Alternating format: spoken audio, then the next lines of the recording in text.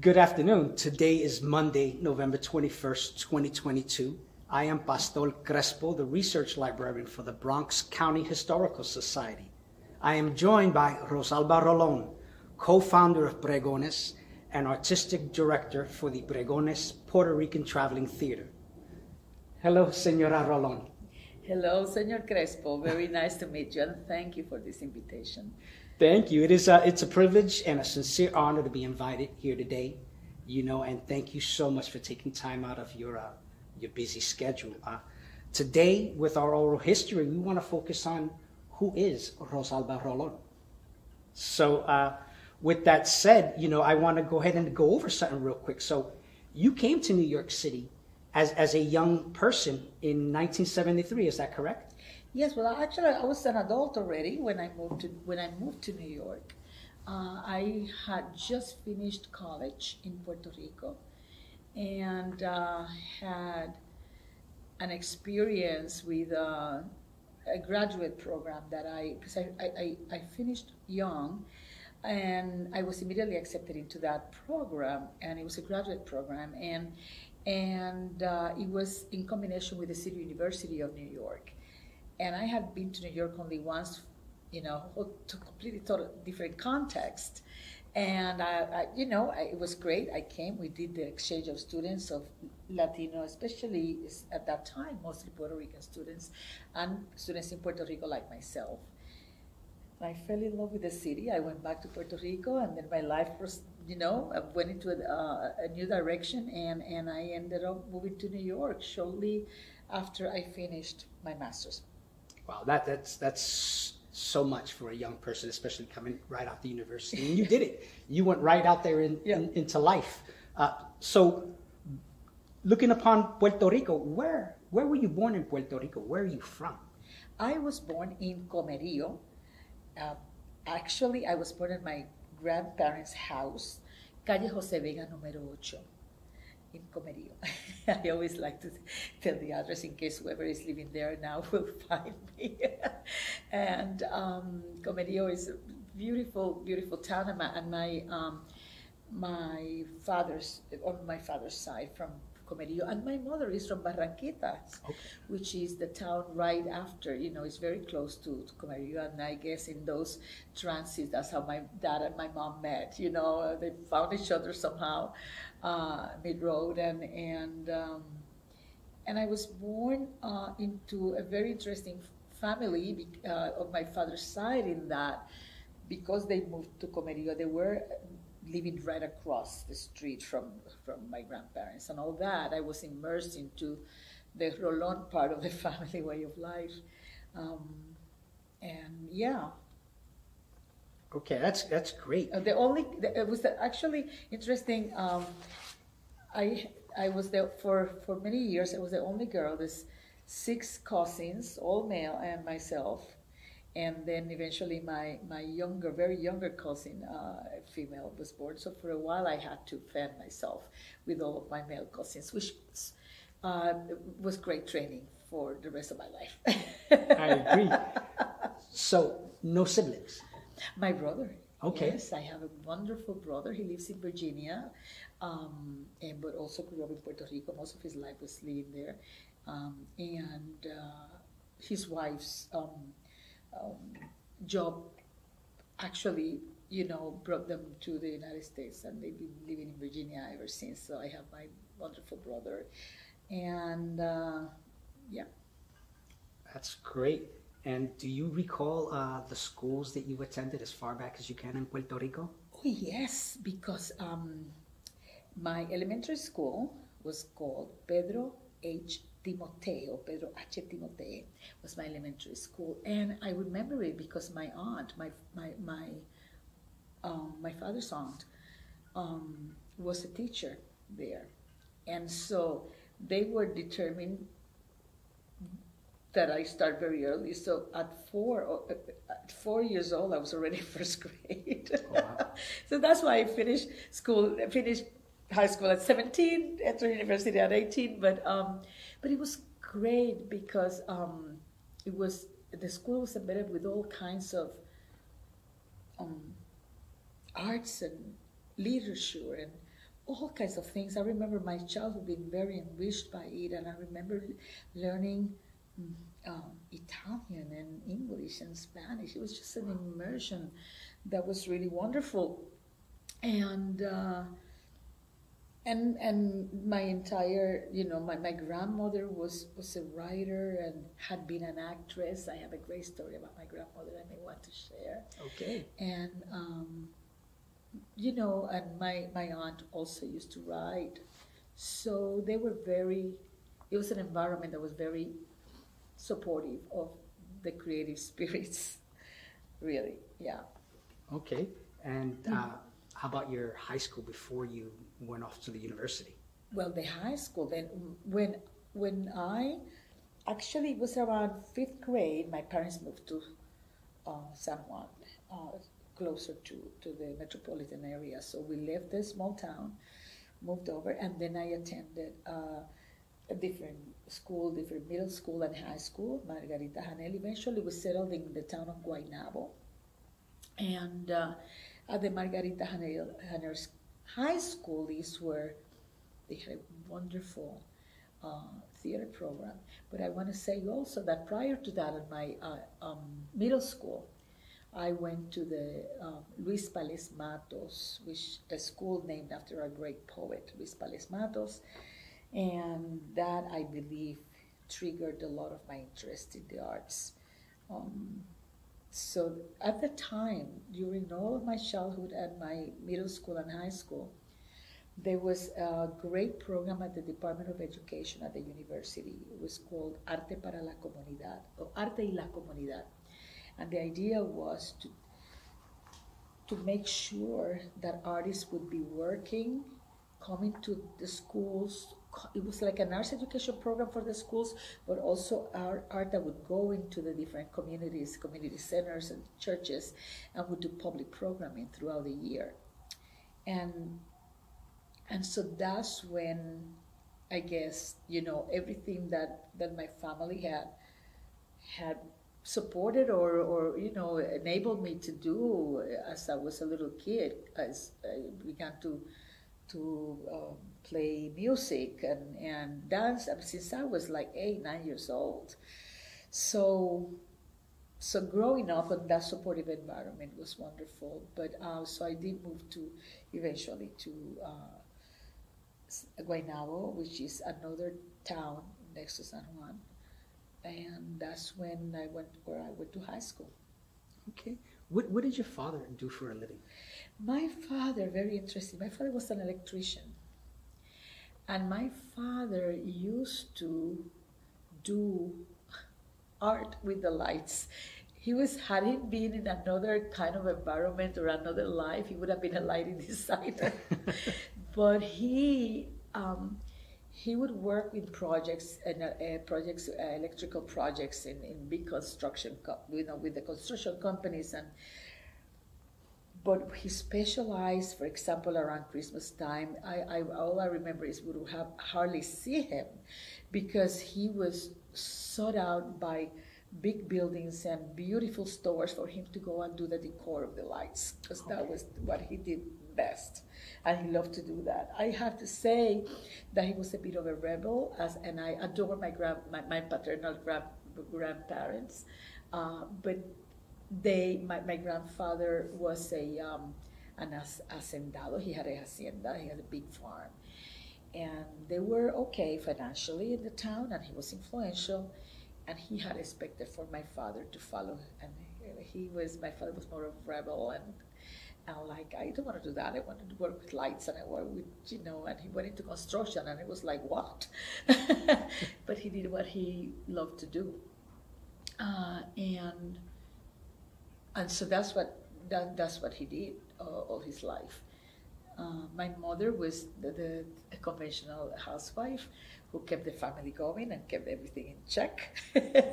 She's still with us, thank God. She lives with, with, with us. Um, and eventually, though, she also wanted to experience working outside of the home, and she found odd jobs here and there, and and liked it, but not, not as much as she loved to. She loved to be in the house and not keeping everything organized. Mm-hmm. That's for sure. And uh, was uh, religion or spirituality a big part of your life in Puerto Rico? It was it was the, the I, I would say the regular the regular things. You know, we would go to church, of course, in the in the small town um, where we were.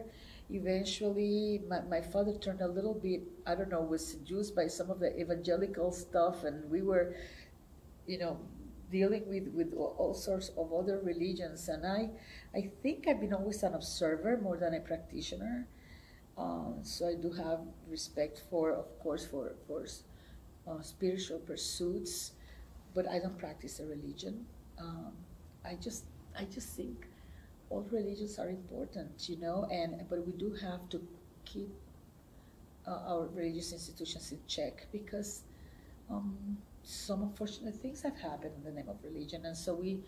That's why I, I rather stay outside of it but very respectful of those who practice it, obviously. Um, I have to I have to tell you the story about my grandmother. Please. And I'm sorry, I'm not, maybe you can edit this.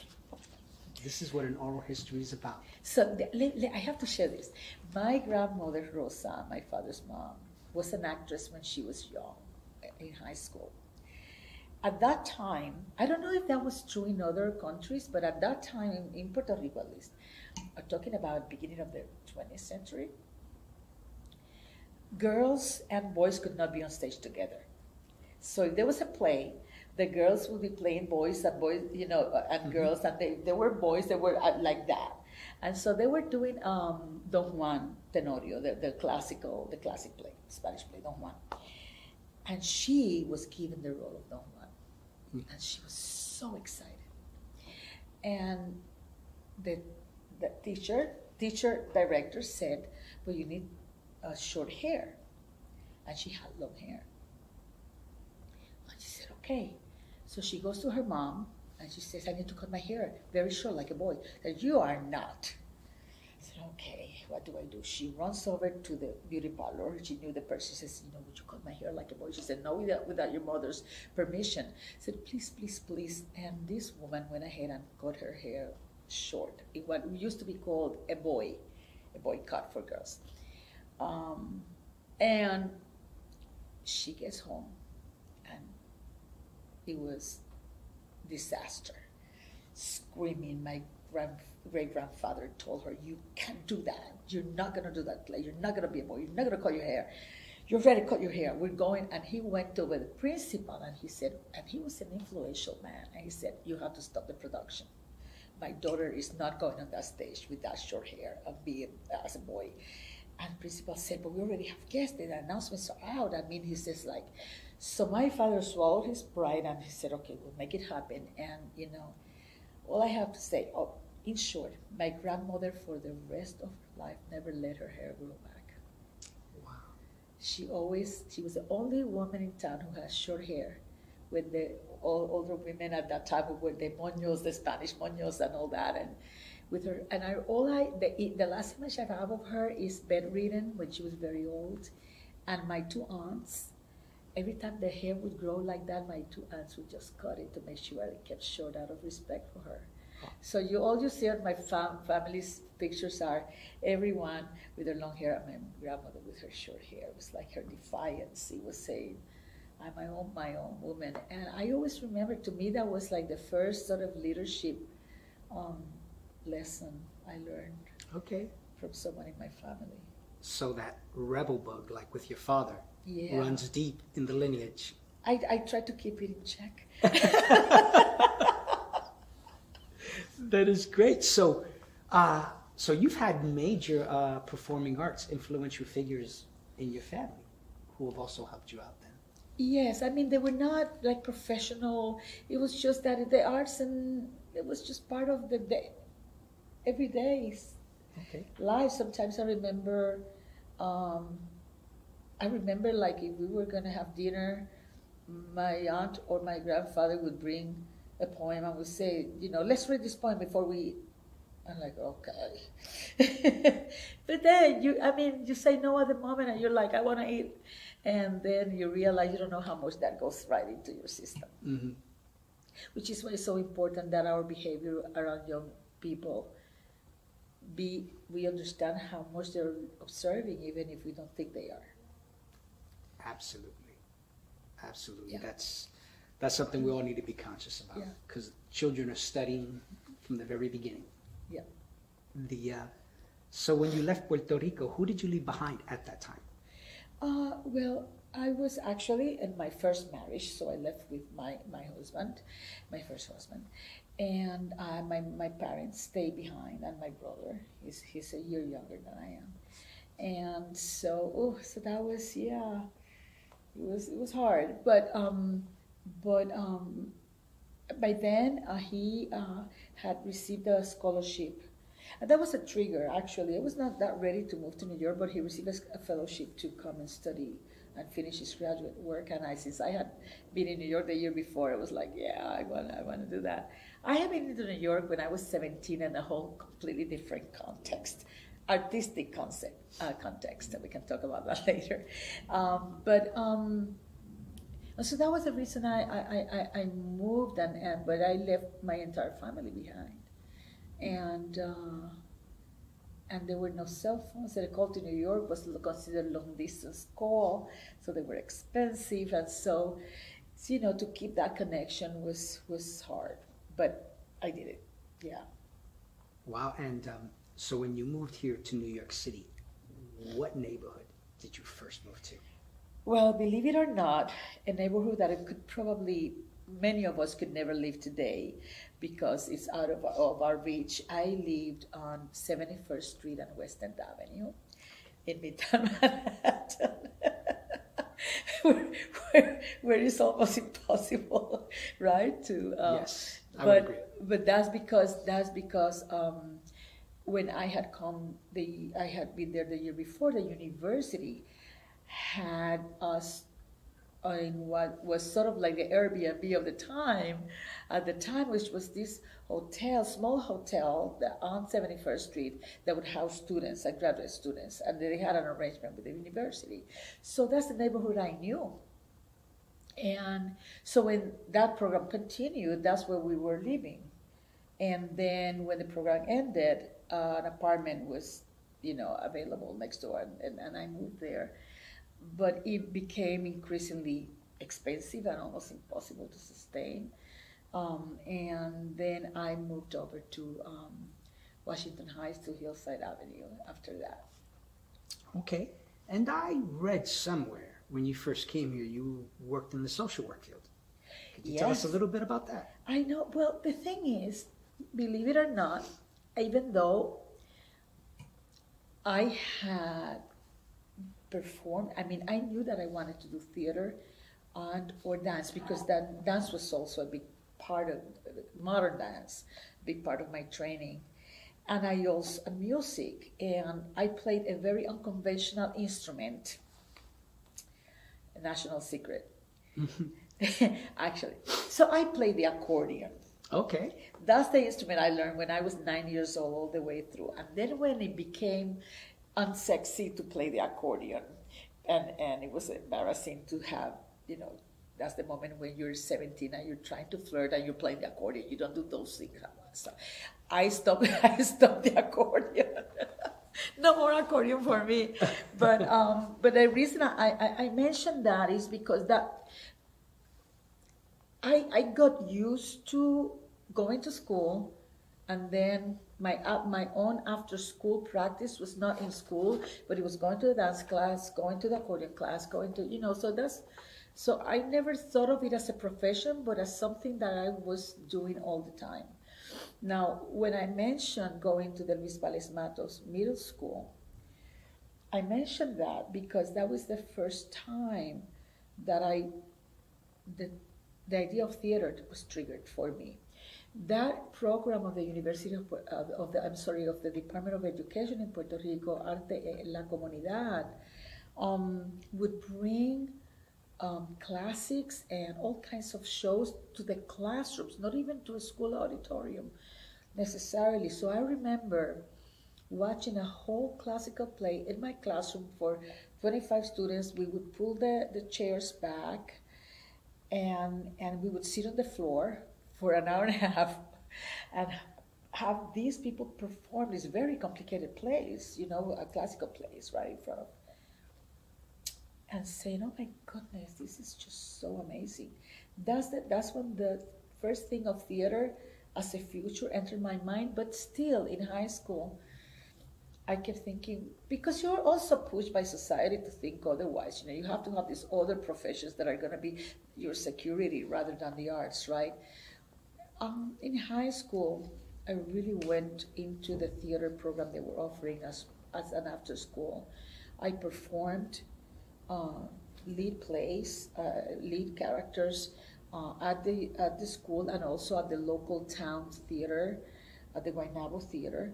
Um, as part of the, like a school plays, I would really when it came to high school, I thought I really would love to go to the Department of Drama or School of Drama at the University of Puerto Rico, but still I loved psychology. I loved social work. I love it. So it wasn't really social work as much as education and psychology and human behavior.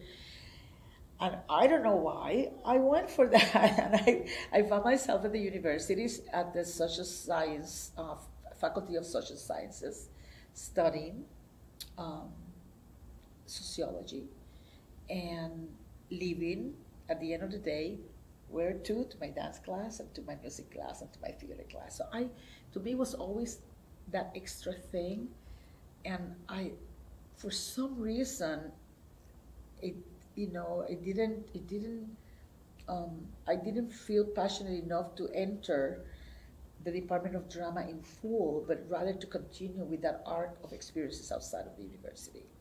And that my master's was also in that, you know, um, psychological counseling, and, which actually are fields that are very useful to me as a director and as a writer today.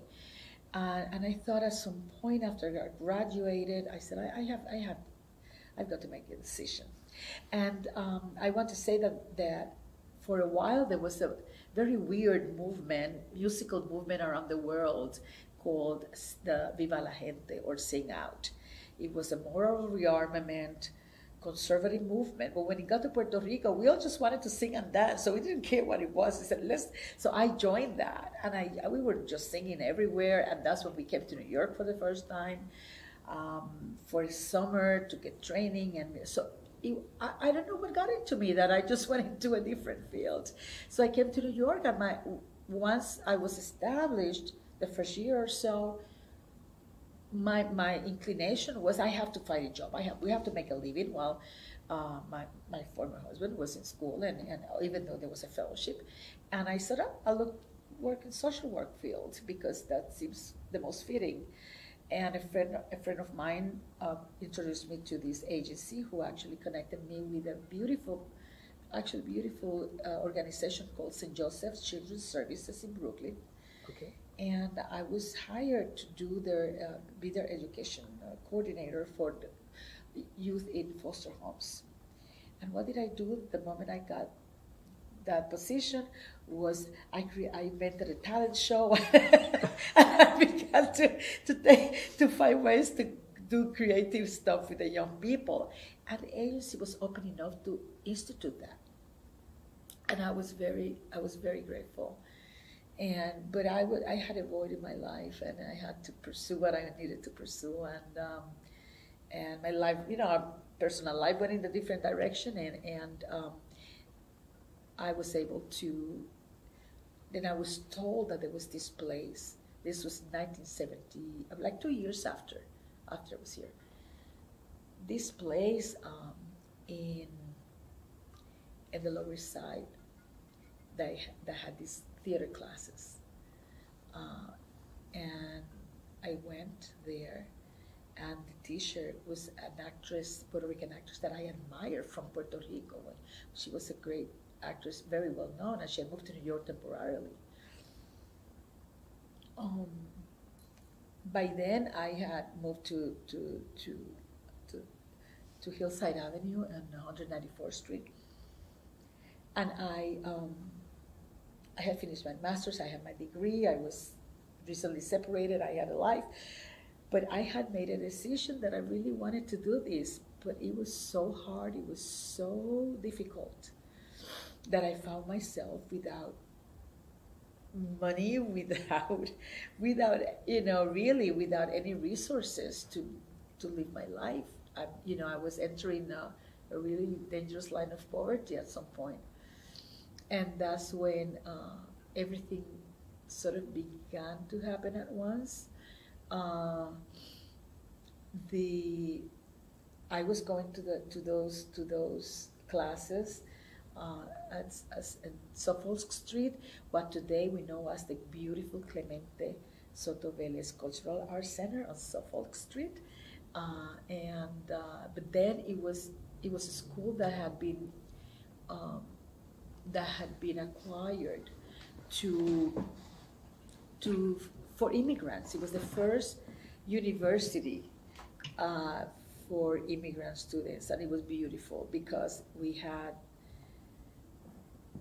students from everywhere, from all over Latin America, that were trying to obtain their, their college degrees.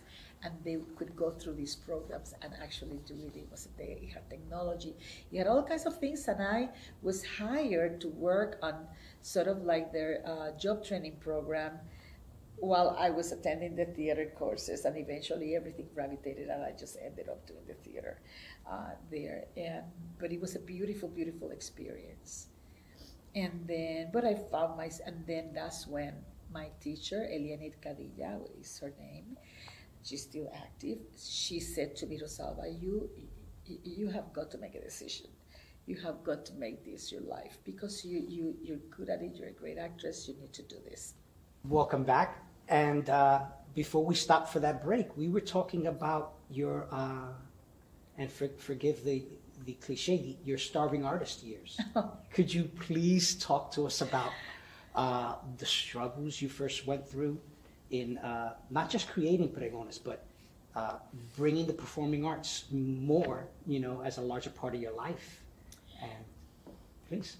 Yes, I, I mean, um, I have spent a good portion of my life actually trying to I guess that was my motivation to fight against the, the concept of the starving artist precisely because it is very real.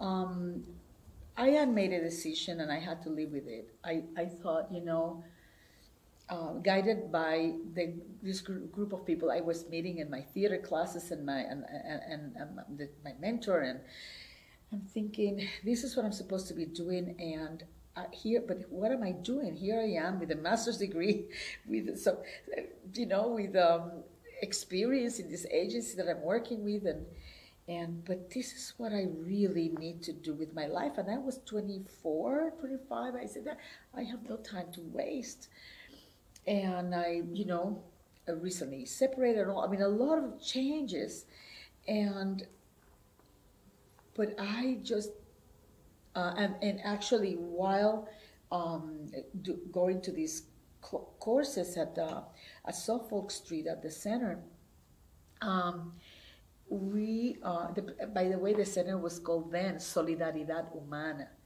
Uh, and then it became Clemente Soto Velez Cultural Center. But while I was doing that, um, I began to get connected with what was then the, the Lat- local Latino theater movement in New York City, and I'm like, wow, there is a repertory, there is a repertory español, there is Puerto Rican traveling theater, very young or very young theaters then. There is INTAR. Uh, they were, you know, formed five years ago, six years ago. They already have a theater or, you know, a small uh, venue, and and I began to to flirt with the idea of, of even though my first professional job here was not in Latino theater, was at the Ensemble Studio Theater. But this is what I really wanted to do to connect with, with the community that I was just getting to know. Um, and and I did that. I, I began to audition. I found out how to do that. I had no idea how to do that. Uh, and then I began to work, you know. Um, with um, with these theaters. Actually, first with what was then um, uh, Teatro Dumé, eventually became Thalia Spanish Theater in Queens, but before they were in Manhattan. Um, I met the amazing Rene Buch, who was, who was the artistic director of Repertorio Español. But I had yet to meet Miriam Colon. I had not met her yet. I was wanting to, but I didn't know how to go about that.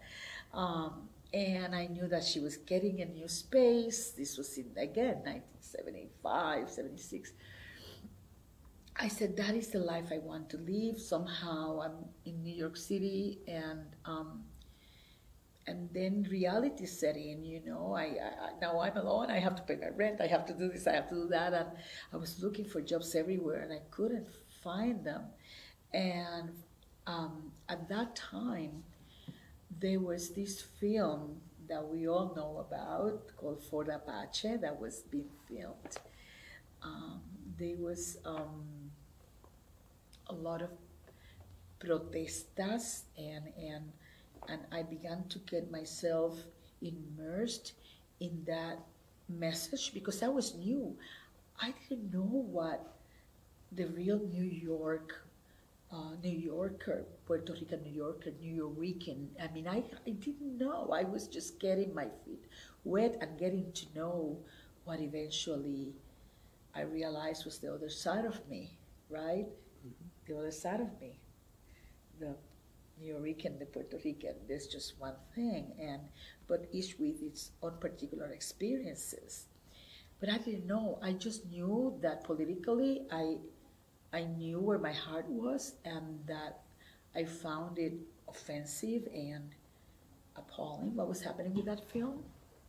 And then I heard about the protestas, and then um, I found myself in a real financial bind uh, one evening, I remember um, my telephone was going to be disconnected the next day because I didn't have $15 to pay for it. And they gave me until noon the, on this particular Friday. I had like, uh, I don't know, a potato and a onion in my refrigerator. The, the, the tokens, uh, the MTA, the subway tokens then were 35 cents. I had 25 cents in my pocket. So I said, I can't even take a token to go where. I mean, it's like just crazy. And then the telephone rings. Thursday night. Um, I, I, I, know exactly even how I was standing, how I took the phone, and it was someone from the Fort Apache film. This actress had bowed out in support of the protesters in the community, and they said, we film tomorrow. If you say yes, we'll send a car right now. You'll get paid right away. We need someone right now. And as I, he was talking to me, the images of what I was seeing on television and the press were filling my my head, but most importantly my heart. And he's talking, and my tears are coming down, and I'm thinking about the potato and the onion I had in my freezer and the 25 cents, and my telephone that was going to be caught the next day. And I was sobbing as I said, I cannot do this. I'm sorry. And then I hung up, and I'm thinking, am I crazy? Uh, and I, in the next day, very early, seven, eight o'clock in the morning, I receive a call before my telephone is, gets cut off at noon from what became my madrina forever, Elba Cabrera, the sister of Evelina Antonetti. Elba says to me, Rosalba, what are you doing today? I said, right now, and I tell her what happened. She said, something happened. We have a project that we need to complete all of the stuff today. She was working at the Association of Hispanic Arts, AHA. And she said, is, is, we need to finalize some things. The person who was supposed to arrive yesterday, I don't remember where from, from another place in the United States, is not here. I, I, need someone, I need someone with your skills because she knew, knew I had the skills. I need someone to come here, help us. I, and then I started to cry again. I said, Elba, I don't even have money for, for a token. Um, I, and I tell her my sob story. And she says, stay right there. I'm gonna, I'm gonna pick you up. We're gonna go pay your phone bill. We're gonna come to the office. You're gonna have to work nonstop throughout midnight tonight, or whatever, but you'll get paid today. And I'm like, yes, yes, yes. I hang up, begin to get dressed. The telephone rings again. It is the amazing Dr. Professor um, Seferino Carrasquillo from Lehman College, from the Puerto Rican Studies Department. He says, Rosalba, what are you doing? I said, I'm on my way. I tell you, I'm on my way to do something else. And he says, the uh, professor that was supposed to start a course on Monday has appendicitis, is in the hospital, he has, he can't do the semester at all. Can you do this? You have the master's, you have it. Because I, we had talked about it at some point I, I had submitted, you know, but they didn't have a position for me. I said, yes, yes, yes. and I don't know, I don't know, I don't, you know, I always think of that, those coincidences. Um, sometimes it, it, does pay to do the right thing, and sometimes you do the right thing and it blows right in your face, but you still did the right thing. So I didn't know what was going to happen with my decision the night before. But all I know is that people are respected, that I, programs that I loved, like the Association of Hispanic Arts and Lehman College. And, um, and then I was on my way to a rebirth in a way to, to be on you know on my own terms and then that that was 1977 I believe it was when um, I made uh, uh, for a year or two or a year or so but the beautiful thing is that once I took that step out the door of my apartment to go into the life that I wanted, I never looked back.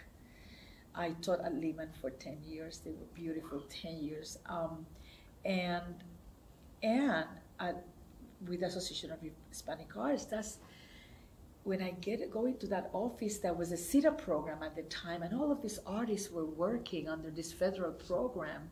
And I began to meet the other part of me, the artists who were born here, who were raised here, and I'm thinking, oh my goodness, we like we're different, but we're not. And that is when I begin to discover whole world.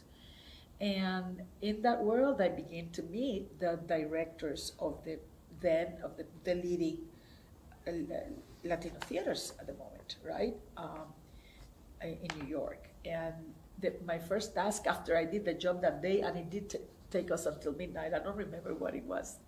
Um, they said we're going to do a meeting. We're going to organize a meeting of all the artistic directors of the theaters here at AHA, the offices. So you're in charge of organizing the meeting. Bring them here. And I'm sitting with a friend. I'm telling them what we're doing, and and and I said, and, and I, I have working with these artistic directors, and I still have to call Miriam Colon. He said, You're going to talk to Miriam Colon, you're going to meet Miriam Colon. And I still, I knew about Miriam and her importance, but I didn't know yet the magnificence of a Miriam Colon. I was just like, oh, yeah, because there was Gilberto Saldívar, it was Max Ferrá, uh, it was all these amazing Margarita Toirac, Mario Peña, all of them. I said, okay, uh, uh, yeah, I'm going to meet her. And, and then we did the meeting I can't even tell you where each one was sitting down, but Miriam, Miriam was just so eloquent and so special and so important for all of us. And and then I was working, and then I, that's when I told them, they asked me what I was doing. I said, I'm an actress. I said, would you want to audition for us? And that's when I began to make these connections. And I began to audition and I began to get hired immediately. I worked with, uh, with Mario and Margarita uh, Toirac and I worked at, uh, uh, with, with uh, Dumé as well. And I had not worked with Miriam yet. It's very interesting.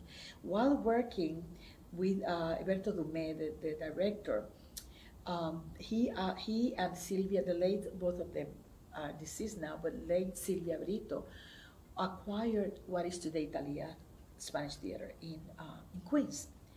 And I remember that they were doing this amazing production with a director that was my childhood uh, hero as an actor. I mean, Raul Davila. When I called my mother, I said, I'm going to audition for Raul Davila. She almost fainted because she knew how much I admire him. It's like audition for Raul Julia or Raul, you know, it's like, oh my God. And I got the. And I got the part. and I have the picture still. Um, and that was the beginning of non-stop working in our theaters. And I had met Miriam, but there was still was not an opportunity for me to audition for some reason, you know, for whatever reason, with the Puerto Rican Traveling Theater. She, she was also just beginning to open the space, and, and they did. They were, you know, uh, doing all the renovations needed, etc. And it all happened so fast between 77 and 79 that I thought, I love this place that I'm doing, but I feel that we're doing enough Puerto Rican plays. I would love, because I'm still a recent immigrant. I still had that fire that I brought from the island that I wanted to, to show what I knew. Uh, and and I spoke with my two colleagues and friends who were in the production, Luis Melendez and David Crommett. And I said, you know, since we're working together, we get along. Let's start something. Why don't we do a little something just for us? I mean, I had been very influenced by the whole journey of Teatro Popular Latinoamericano political theater, and I think that is what was missing in me. That I still needed, wanted to do a bit more political kind of theater in my own head and heart. And they say, yeah, why don't let's those things that you uh, talk about with friends, let's do something and let's, I don't know, let's invite five friends and let's, you know, um, and I did, and and we began to talk about what? And in one of my malacrianzas and one of my uh, rebellious moments, they said, what would you do? I said, what would I do? I, I want to do a hundred years of Puerto Rican theater. You want to do a hundred years of Puerto Rican theater? They look at me like I was crazy. I said, well, not exactly, but what if we were to start researching and figuring out what has been done over the years? Mm-hmm. We ended up with the concept in which we were going to read all of these plays and we were going to take two or three plays from each decade from 1989 1889 to 1979 or 1879 to 1979 or something like that 78 um, and and we're gonna just have those plays and they said well you're gonna you still have like uh, 30 plays that you're going to do. So, well, no, okay, how about if we take the most important climatic scene from each play and we put them all together? We still have like 30 scenes. Well, to summarize, we ended up choosing one per decade and ended up with 10 amazing, 10, 100 years, amazing climatic scenes from a play from each decade and we put them all together in something called La Colección, the collection. And that was the first, um, and called a few friends. Uh, we invaded a theater that we're not, we were not supposed to be invading. In other words, the boyfriend of one of the actresses that we invited to work with us. This is what we were doing on the side while we were doing this other place. Um, he said, You know, the theater, I'm a custodian of this theater and it's dark on Mondays. and I say, Okay. He says, Do you want to go in there so you have an actual theater to do something in? Well, is it safe? I mean, can we do it? He said, Well, no one is going to know. So we completely, completely and radically invaded this place. Invited like 50 friends, and Miriam Kay came very VIPs came. They all knew they were there illegally, that we were not supposed to be there. And um, including great, I mean, like Emilio Carballido, one of the b- biggest Mexican writers and directors. I mean, everyone was there. Like, okay, let's do this fast, and then we have to leave. and we did it, and we read our, uh, and we did it and we used recorded music. And when we did the the we didn't even have a name. We just said, you know, we're going to do this as a test.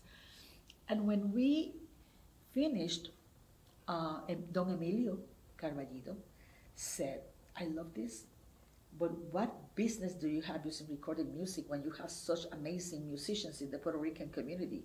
You, people can take, make uh, music out of a, of, a, of a banging a can. I mean, why can't you? I'm like, okay, Don Emilio, okay. And that was our first challenge. Someone challenged us to use live music. And then our search began for musicians who would don't wouldn't mind working with a bunch of actors, and we did find. So that was the seed. That was the seed. Today, forty something years later, someone tells me, "What if someone invaded your space?" Do that. I said, "Well, if it's to create something as beautiful as we have, I don't mind." Welcome. Yeah. and so that was that was that was that moment but we still didn't think of a company. We just wanted to be to do something creative while we were doing this other thing while we were re- working in, in all these productions. And that's when i received a, a call from miriam. Already the, the theater had had been built and her office was on the second floor. Today we have a gallery in her honor in that office uh, and I sat there with her, and she said, "Listen, uh, you know, I need someone to work with us. I love what you're doing with the how with the, I still had my part-time job with the Association of Hispanic Arts with ELBA, and um, you know, he uh, she said it would be great if you could join us in trying to do outreach because we're going to the streets, we're working outdoors. I said, "Oh, Miriam, I love it." But I worry because we're rehearsing this thing where I'm starting my own little company. It's not even a company, but we're, this is what we're doing. And she said to me, I will never interfere with that.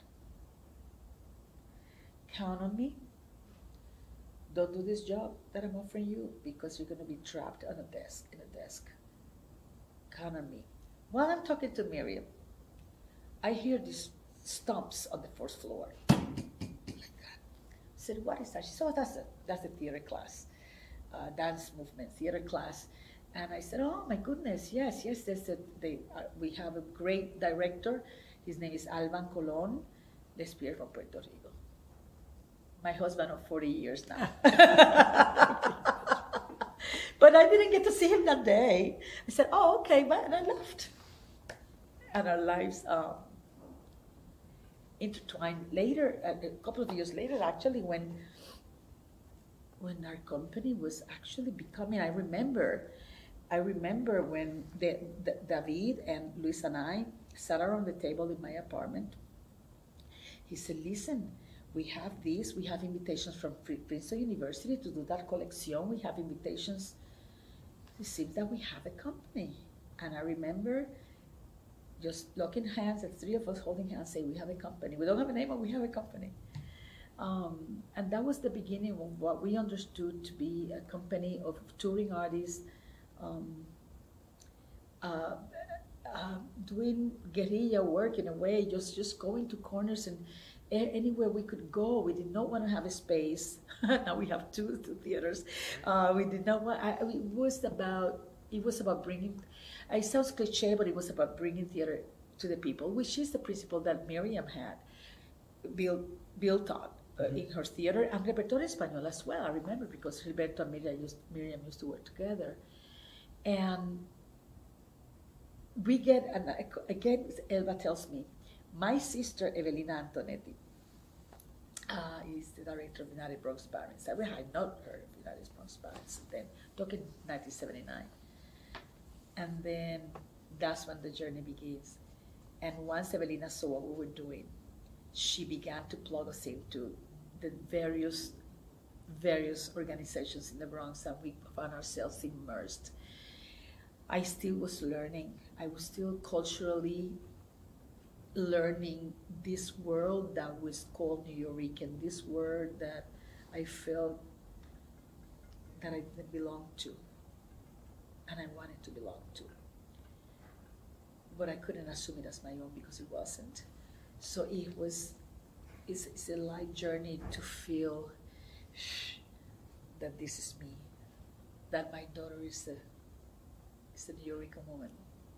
That, you know, everything all that, but it takes years and years of real honest work and relationships. And, and, and so once we began uh, in time, with you know, as time went by, uh, we found we, we settled on a name of pregones because uh, in Spanish the word uh, in English pregones means the chants of the street vendors, and we felt that that's what we were because we were touring company solely going from city to city to places where there was little or no formal organized arts centers or groups.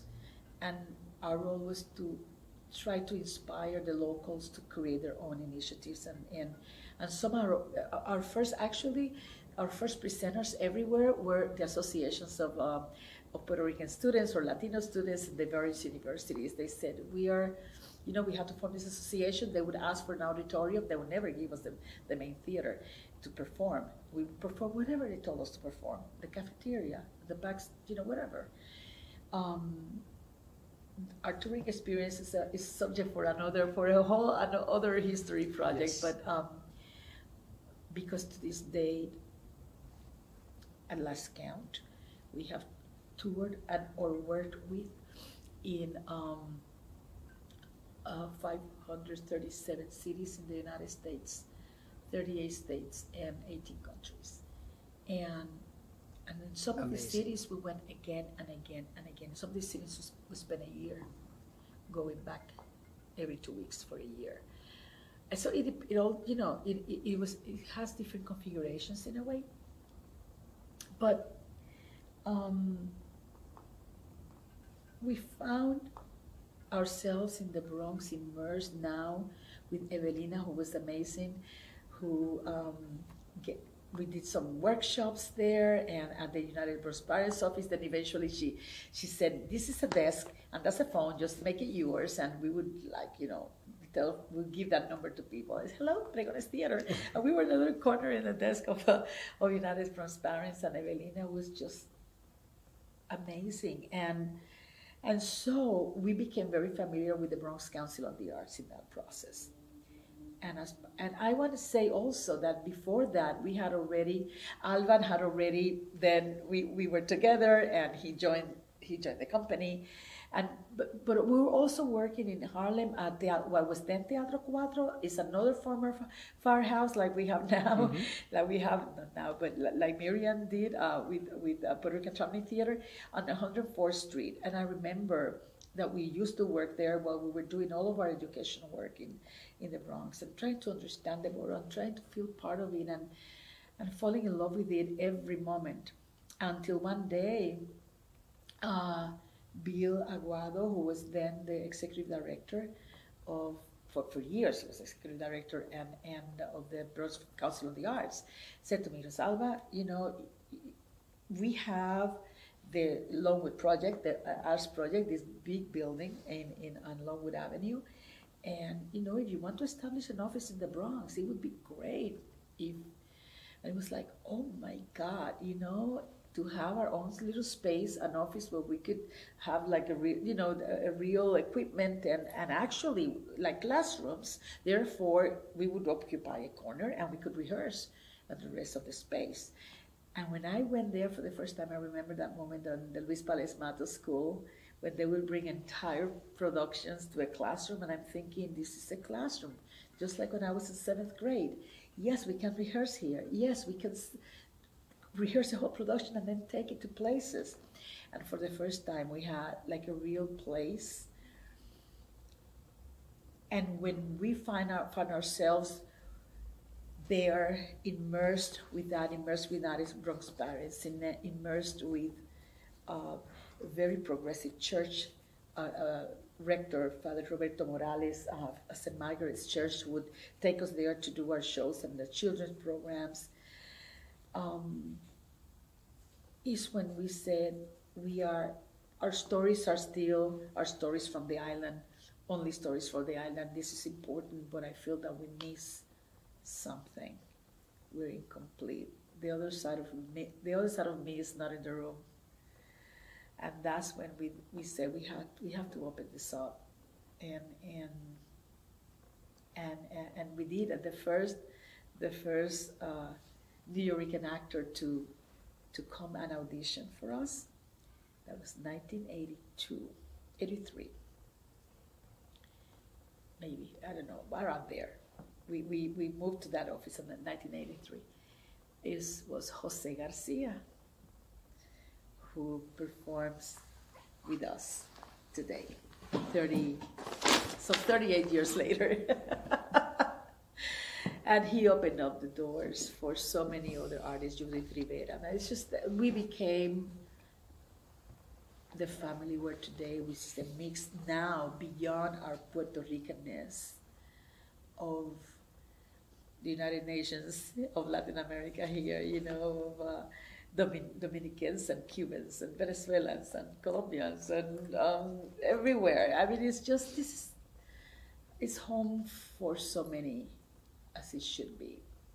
So, and so those were the beginnings, how we took our touring model to make sure uh, that we had what eventually we said we have very, very deep roots, but we also have wings and, and that was our first formal space even before we had our first theater.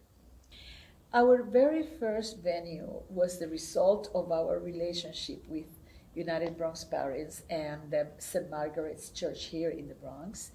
Uh, the um, the um, rector of St. Margaret's was a, uh, Father Roberto Morales, who is a former professional basketball player.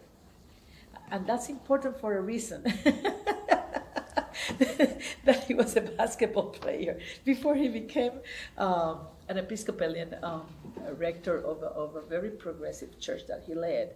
He was um, sent, or he was changed from, transferred, I should say, from St. Margaret's to St. Anne's, St. Anne's Church, historic St. Anne's Church, on 100 near 140th Street on St. Avenue.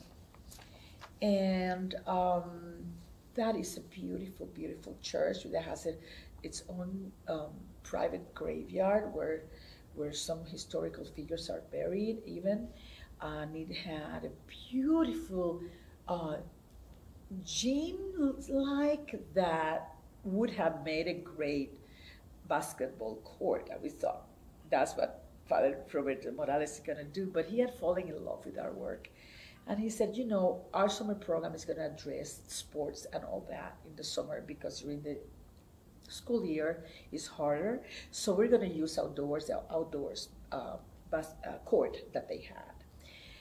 And we have this gym. You can just come here and rehearse here, and and uh, so that you don't are not constrained in your uh, classroom style office, which was still very very useful, and that's where we built everything for a couple of years. We're talking 1983 around. We were traveling like crazy. We were traveling a good 50 to 60 percent of the year, either locally in the local communities and around the country, and in uh, festivals around the world, Europe, Latin America. And um, he um, we said, okay, I mean, it's great because that way we can do our, you know, we, we can do our dance uh, uh, workshops and all kinds of things that we were doing at the time. Thank you so much. He said, just go in there. One thing led to the other. And he said, well, why don't you put chairs and you can perform and invite people? I'm thinking, well, that's like having a theater. We're, we're, we're a touring company. Um, and And he kept flirting with us, and we kept falling for it. Eternally grateful.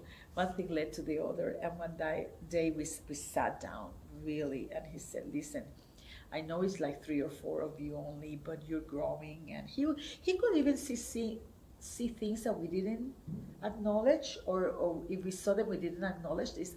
We are growing. We're everywhere. You know, we, we have, you know, we have, is this a theater company? This is, has to go, you know, we have to figure it out. And um, before we knew it, then we said, okay, let's, let's start there. Let's just bring in some chairs and let's do something and see if people come. He is such a progressive leader. Under the, you know, on the bottom floor of the church, of the, of the gym, was a, uh, a whole service office for health and well-being, especially because the AIDS crisis was hitting our community very hard. And so there were orientations and there were things when people did not want to deal with AIDS or people felt like, you know, the homophobia and everything that was, was so tragic, um, he addressed it directly by opening a space for the community to come and talk about it and receive services. Uh, there were quite a few political prisoners at the moment, Puerto Rican, Puerto Rican and he had a service for the families uh, of the, the prisoners. I mean, it was like incredible. And he says that now we're going to have a theater. So this is not going to be a theater, Father. This is going to be us rehearsing. Remember, we toured. Uh, the thought of having a space was scary. And he said, "Well, okay, let's let's try." And when we began to invite audiences, people began to come in in large quantities. We thought, "Oh my God!" and uh, the word spread out in the community that we were opening a theater as an S church. and we get an, a knock on our door one day, and was this this man who said, Hello, my name is Gino Donovan, and I am the director, president of Hudson Scenic Studios. We are a Broadway uh, stage set building company, and we have our company like four blocks down. Mm-hmm. We didn't know that. That's where we build all the major Broadway sets like Cats and Rent and all that. We heard you were opening the theater. We have all of these things that we don't use and that these productions don't use. Do you mind if we help you build your theater? wow. I think if you look behind a couple of those, or they will have another one downstairs, we still have the curtains that say, say cats stamped on the back. Oh, wow. He, they showed up and they basically built the, the framework for our theater, for our stage, for our curtains, for our dressing room for free as a donation. Wow. And that put us in a situation where we then now we're becoming ambitious and said, oh my God, we do have a space. But it could still use more theatrical setup, and they helped us identify a theater architect, Richard Kurtz, and we went for the money and we asked the city for help. And people came through, and we were able to have a fully designed theater um, via a theater architect and then Hudson Scenic Studios helping us. They're still doing the marvelous sets that we see, and they just this year, 30, almost 40 years after, just built our set down at the new production that you're, you mm-hmm. know, that, that's coming up. That we just did, and, and, and, and the one that is coming up. So they have remained friends. But what I'm saying is that people believe in your mission, the sense of mission. We, we had we had the reputation of being this Puerto Rican company, Puerto Rican based company, and Puerto Rican company, and now expanding with our other side of us, right? Infusing uh, our New York voices into our lives and, and, and trying to, you know, working through all of the all of the details and, and, and nuances of identity and culture and see, still seeing that we're part of a larger world as well. So we, when we inaugurated our theater, since 1985, we said, but now what? We're going to be traveling a lot but the space is here. So now we have a space for other artists. And we organized our first international festival and we began we our relationships that we had been developing for at least a good then a good 10 years before that or 9 years before that in other parts of the world, we began to invite those groups from, from you know, from Mexico and from Peru and from Venezuela, from uh, Dominican Republic, in addition to Puerto Rico, of course, and and and we began to be get plugged in uh, to the various networks of the industry in the country, and we began to see ourselves, in addition to being this touring company and have this space in the Bronx and all of the significance of having a theater, that theater in the Bronx at the time. Um, then other networks began to invite us to come to this conference, let's join us, become mm-hmm. members. And so we began to develop um, a very formal approach to doing the business. And we I remember we were still holding several jobs because we, our salaries were still, you know, and our focus was making sure the artists would get paid. And I remember when when uh, one of the foundations came to visit and and and they said, uh, all right, so we are going to come through with at least a couple of years of general operating support, so you can have your salaries and all that. This was 1984 around there, and we said, okay, we need the salaries, but then we made what I think was a very wise decision. We need an administrative structure. We need to have an, an in-house accountant. We need to have an administrator, and that's when we um, hired um, our uh, two people that if you go downstairs right now, they're still with us. We hired Maggie Gonzalez and James Figueroa were the first two people that we hired. Maggie was just starting and she's now uh, obviously a senior staff member.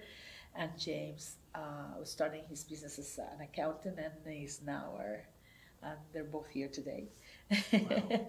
All this year before because we do believe in this, you know, the provide the environment that will make people feel safe and stable. And, and then we began to realize that we were part of a much larger world even though we had been touring so much, but in terms of these more the professional networks, the you know we were involved. Alvan was involved in the creation of the um, um, uh, National Performance Network, that was initially at the Dance Theater Workshop, and then we got to know the Dance Theater Workshop and all of these institutions. And I remember we said, you know, I went to Miriam. I said, we're going to open the theater. We want to want you to be an honoree, and I she was the, the first honoree when we opened the theater I remember, um, and and our friendship just got grew stronger and stronger and stronger, and and we were now really had like this is going on an express lane and a, local lane in a way. You know, we had this life on the road, and then we had this local lane that we had to nurture and and, and grow. Um, and that's we were as an ANS for 10 years almost. And uh, then uh, Father Roberto Morales left, and, and the new administration was not as sure as that they needed to have the theater there. And we said this, you know, obviously things were not the way they were before. And I think in a way we also recognized that we probably wanted some more independence at that point, since Roberto wasn't there anymore. And so we parted ways and we put everything on, a, and, and, I remember calling the, um, the point was, was starting at okay. that time, Universes, where some of the theaters that worked with us, mm-hmm. that, when they were starting, with, they performed with us and everything at that stage. And they were building the theater, and we said, listen, rather than put all these seats that we had, beautiful seats that Hudson Scenic had brought us, mm-hmm. all those seats in a storage, do you want them since you're building a theater? And I believe they still have them. Wow.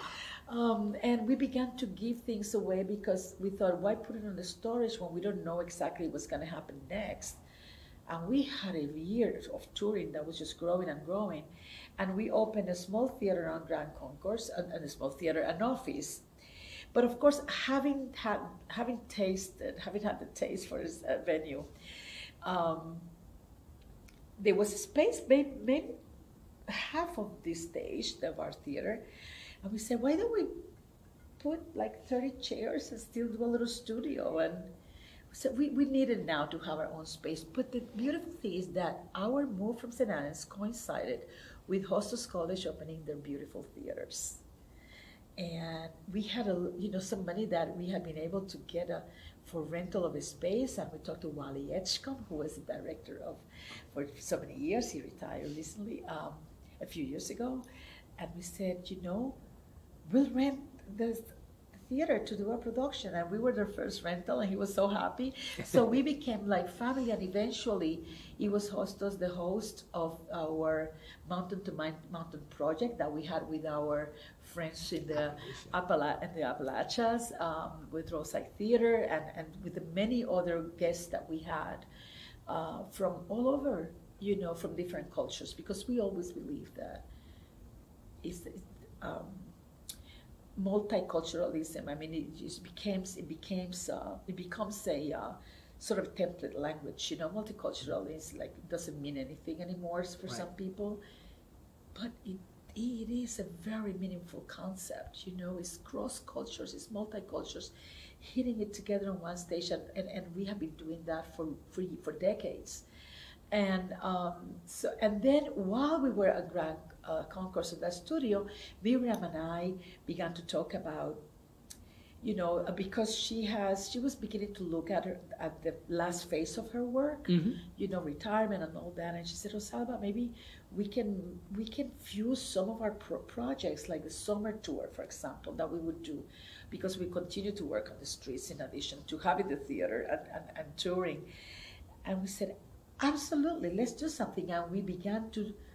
To, to merge some of our programs, uh, of our offerings together, those are the first steps. It was like a strategic alliance at first. It was not Mhm. a merger. It was about let's fuse resources. You know, we can share some stuff. We can share space. And she had the theater, so we could do things there while we were developing our little 35, I think was 35 seats or 46 studio. Um, and then we opened our little studio, and it was always full because it was only like 40 seats or something like that. Uh, but by then we knew that we were using that time to find a permanent place of our own. And so the owner of that building, when we told him what we wanted to do, he said, I have this building that's really in bad shape. It's sort of abandoned. It's on Walton Avenue. It has had many iterations. It has been a daycare center. It has been a archival place for hostels. It has, but the last people who were there basically destroyed it and have c- curse words sprayed all over the walls. I mean, you have no idea. They said this was like all in tumbling walls inside. Wow. We said, okay, but you don't know what it means to work with an artist. I tell everyone, give us your, give me your ugliest building. We're gonna turn it around. Wow. Artists will do that until the end of time. And we saw it. And I remember we came and this our musical director, who you, you just met, came here and we just touched the walls. We came in, we could not go all the way back here because everything was in like ruins and Right. it was dangerous. So we just went downstairs. We said, okay, we want it. I don't know what got into us. and we had a house that doesn't is not there anymore because we demolished it to, to build a new building because it was not viable anymore. But it had a house next to it. I said, what if we move our operations to the small house and um, turn this into a theater? I said, I don't know what we were thinking, but we brought we brought some engineers and we called Mitchell back, who had Mhm. you know the architect, and they poked with some magical things they have, and they said, "This the structure is good." And we said, "Okay," and that's when we did our first step to um, approach uh, our then Borough president uh, and uh, and our Congress and Congress uh, member Serrano, and um, and we brought uh, Adolfo Carrion here, the, board president at the moment. And, and I remember I, I, I teased him because he was just here the other day. And he was downstairs, and we're thinking about everything we're going to do. And he's looking at this building. who's in such bad shape, and he's going, okay. But to his credit and the credit of the public officials, they all believed in our mission and our vision for the building. Um, and and they came through so that we could purchase it and that we could uh, build it, you know, uh, make a beautiful theater out of it. Um, and I remember being outside with with uh, Adolfo one day, and he said, "What is your biggest dream?" And at that moment, these two kids, in their 14, 15 years old with the backpacks after school, were walking by. I said, "My dream is that those two kids, when they're 30 or 40 years old, will say, I grew up coming to that theater. And they will bring their kids. Wow. And that's happening. I, we have people all the time here saying, I grew up coming here, and these are my kids. I want them to know this theater. And that, so anyway, that's how we built this, and, and how we continue to, to, to build our touring program in a different format because the, the responsibility of having this is different. We couldn't be on the road. Also, the same ensemble, because that's the other thing. I haven't talked really about our artistic format. Mhm. Pregones Theater was made as an created as an ensemble. Continues to be an ensemble of various generations. Some are active, some are not, but they're always part of the family. Some are alumni. We, we bring in new people, they become part of the ensemble. It's not only the actors, it's the designers, the production crew, everybody who becomes part of that family that creates work. And I mentioned that uh, because part of it is that we continue to get great um, energy from branching out and continuing to travel and work with other communities. And we go back to places that we were in, uh, work with 30 years ago. You know, we just finished a, a, a project in uh, Bethlehem with Touchstone Theater, Bethlehem in Pennsylvania. Now, with the first time we performed in Bethlehem was in 19, uh, it was 35 years ago, I think, 35, 36 years ago. And, and we're back giving workshops to the children or grandchildren of people who saw us then. Um, mm-hmm. But of course, now we're more intentional about how we tour because we have obligations at, here at home. And then that those, those responsibilities grew when uh, some five years ago, or well, into the 2014, 2015, it became evident that Miriam could not be, you know, her health was not great. And she said, I, I can't imagine anyone else with this baby of mine except Pregones. And that's when we decided to merge into one institution. So from me being totally starstruck 40 years ago to having this woman tell me, please, this is, this is for you all and and we did it, and we were with her to the, her last moment, and um, went with her to get her presidential medal from uh, President Obama. That was a be- beautiful day, and um, and then now we are one. We are one with two venues, and we continue to venture out into the world as much as we can, and we are able to. But also, some of those relationships throughout our touring life yielded some permanent permanent friendships. You know, we have been we have a very large national family and we're very proud of that. That's great. Wow. I've learned so much. Um, do you think we can speak about? I know I've, I've heard you mention a few times about the two parts of you, you know, and I, I guess that would be the old Puerto Rico and the your Nuyorican-ness that you've developed. Can, can you speak upon how, uh, say, maybe your new developed Nuyorican-ness or New Nuyorican uh, culture uh, complements your Puerto Rican culture and the challenges? I realize it's very interesting because I'm organizing my own documents as I arrive at a point in my life when I need to summarize my life in, in other ways and I just found something, and I thought about about you, and I, I might still send it to you. Um, a reflection I wrote a few years ago when I, where I was saying, I know. I remember Mariposa, Mariposa's poem. I didn't grow up in Puerto Rico. Puerto Rico grew up in me, or something like that. I may be misstating her her beautiful mm-hmm. line. Uh, and I think that's what happened, that the Bronx grew in me. And I have little patience for anyone who, who mistreats the, the, the borough. Uh, Nuyorican-ness grew up in me. I don't pretend to be, to have gone through what the Nuyorican community has gone through over the past 50, 60 years. I did not live through that. I lived through other things they did not live through what I lived through. I did not live what they did. But right now is part of my heartbeat. It is. I, I, I will not. I will. I will. I will not tolerate. Um, you know, any mistreatment of even the concept of whether that is Puerto Rican culture because it is. Um, my daughter is Nuyorican, born here on an opening night when I'm supposed to go on stage and I had to be taken to the hospital. And she was born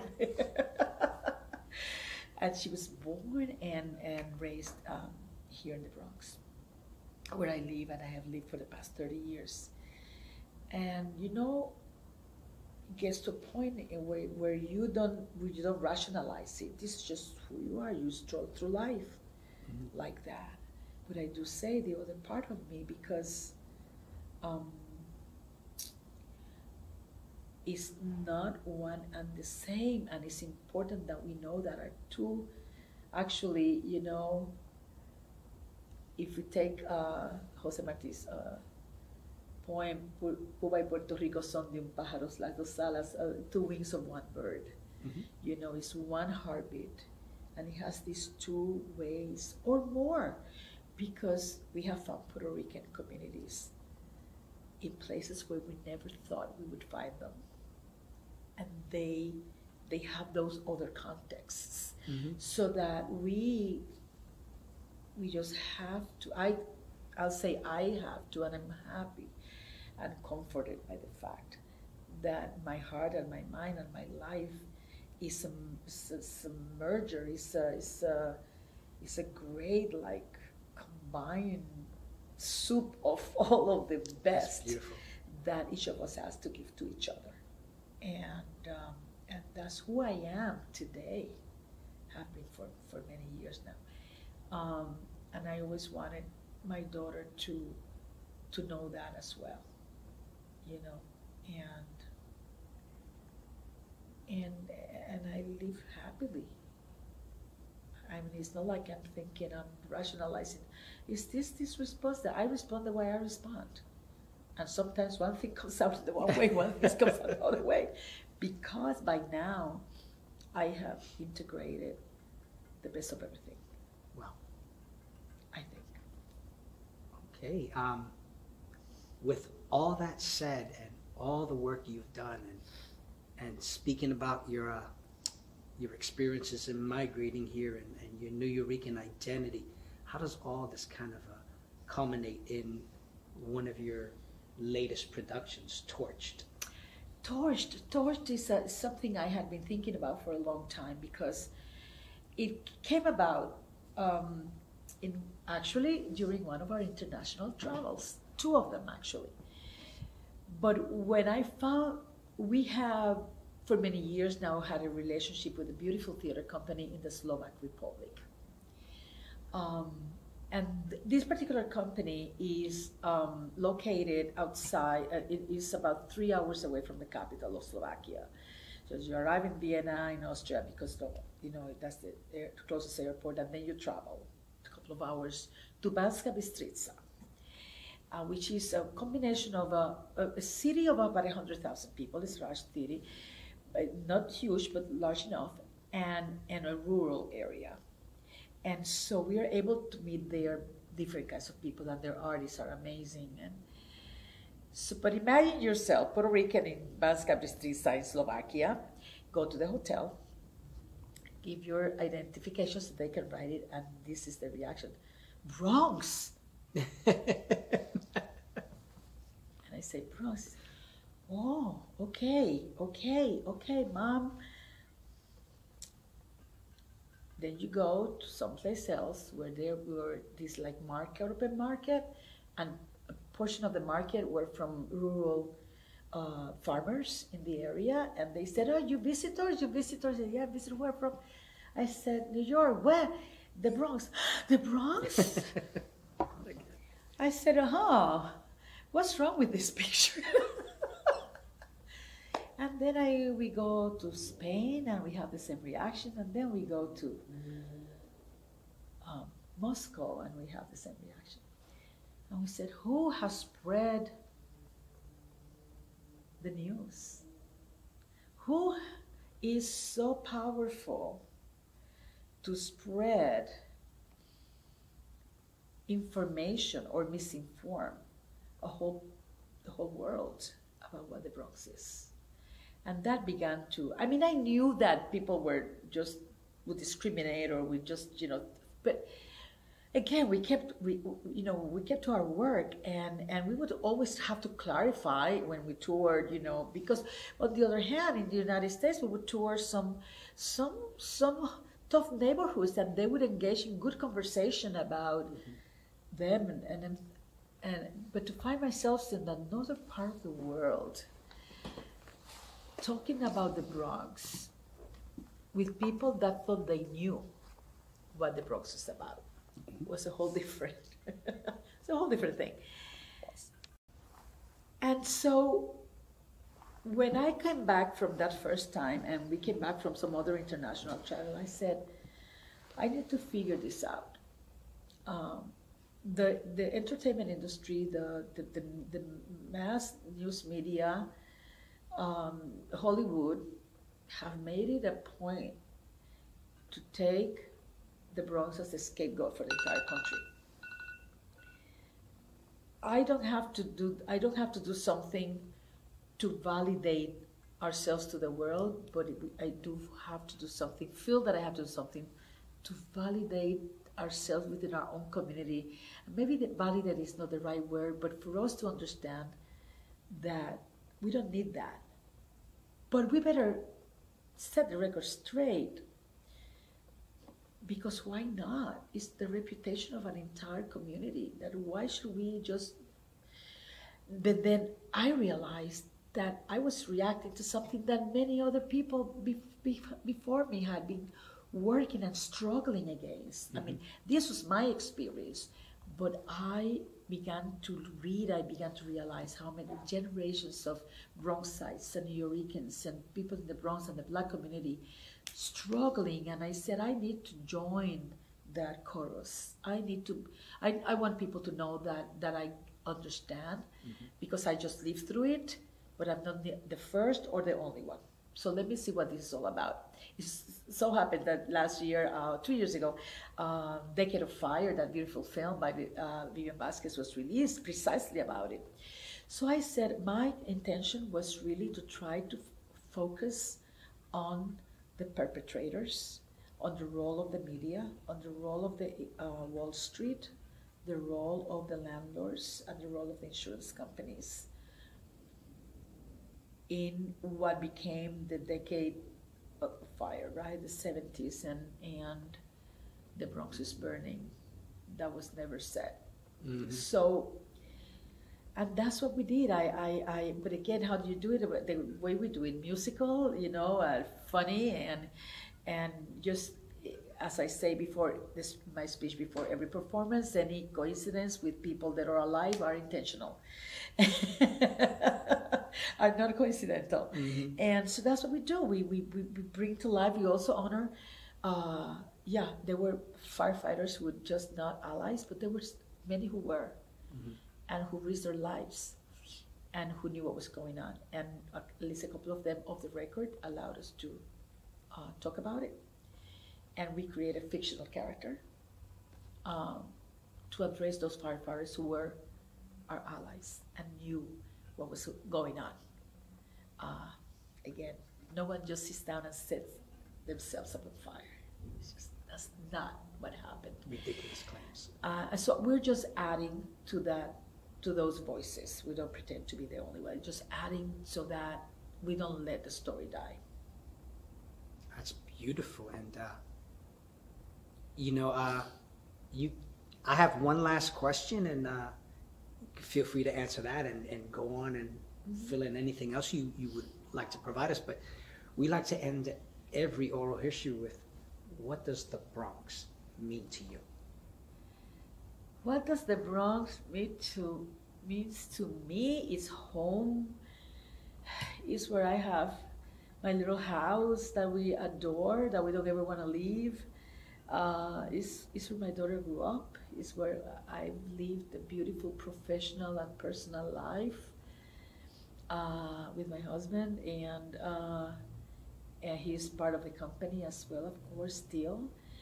Uh, where we have built this this place, a destination for artists and for neighbors and and for community and I and I use the word neighbors purposefully because sometimes we say community and we don't know what it could be a lot of things but the neighborhood you know to understand who lives around us and who are my neighbors where we live up on uh, Corlear, Kingsbridge area uh, over there, and and is is it's an emotional destination for me, you know, um, and it's where I grew up, not grew old, but also grew uh, personally. I matured, um, and and it's it's it's a it's it's like a magical world because I, I'm constantly discovering things in the Bronx. It's like it doesn't end. Mhm. Just when you think you know everything, you just go to a place where oh my goodness, I didn't know this was here,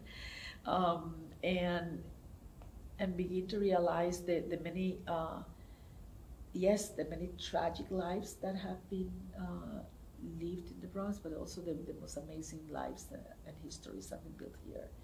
So I'm very I'm very proud Bronxite by now, uh, adopted daughter of the Bronx. Beautiful, beautiful. Wow.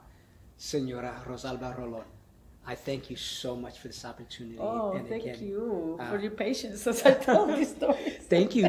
Thank you for donating this time and this oral history to the Bronx County Archives and uh, for future researchers. Uh, Well, this to is study. your work is very important. Uh, the Bronx archives are very important, and we can find ways to help promote these archives as we go. And I think it's important that we work together in making sure that that they are a life resource. You know. Thank you. Thank you